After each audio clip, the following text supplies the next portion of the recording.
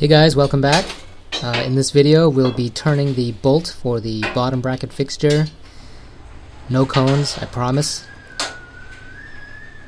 Uh, we will be turning cones later in uh, probably the next video because you need cones to hold the bottom bracket once the bolt is on there. But no cones in this video. Alright, so uh, here's the first rod I got is a 5 8 rod and here is the, an 11 16 rod and so that's just 1 16th larger than the 5 8 Upon closer inspection of the bolt I noticed it had a cut in it. Um, the cut was about 10 inches down I think. Um, the good news is we don't need this bolt and I always order a little extra anyway so just in case I screw up.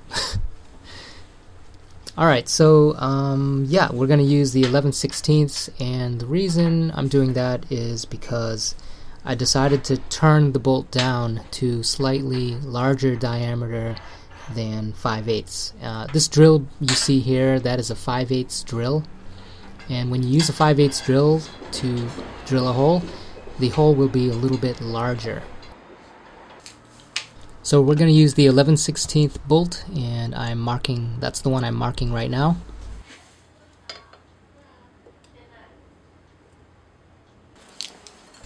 I'm marking about an inch over and that is for the jaws to have something to grab onto. And so I'm going to cut on this line here and I put a little arrow so that I don't cut it in the wrong place. But I did cut it in the wrong place and this cut you see here is the second time I've I cut the rod, so always get extra.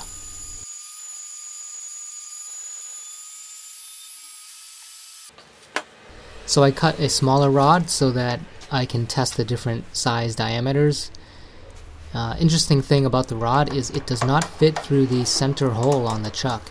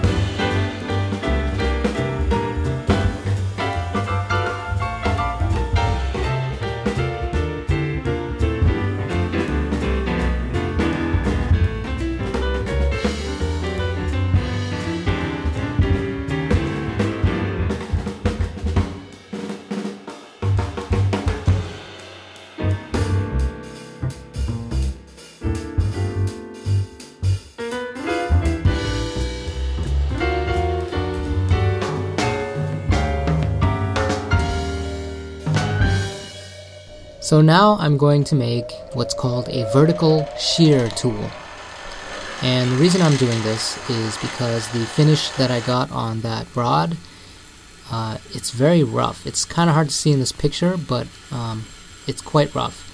So I decided to make this tool, and uh, it's really good for uh, mini lathes to get a nice smooth finish.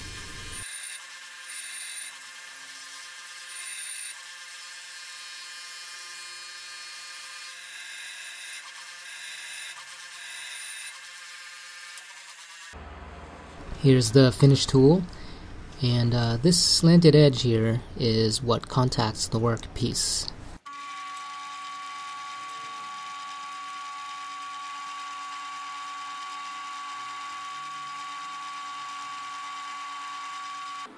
The right side is the vertical shear tool and the left side is the regular.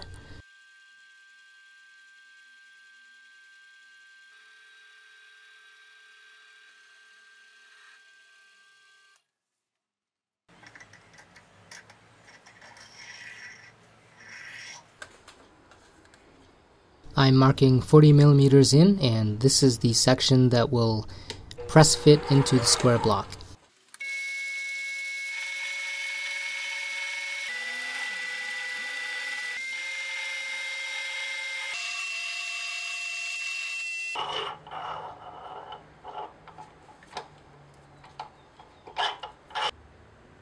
And here you can see I parted it and I thought I was recording but I wasn't. Sorry.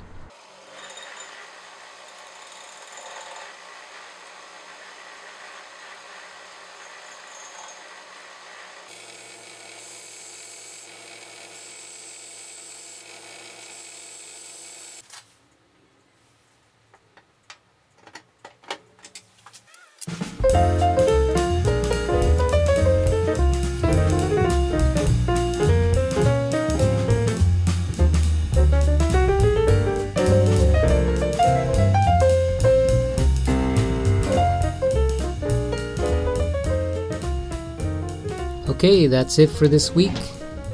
Thank you guys so much for watching, and I'll see you next week.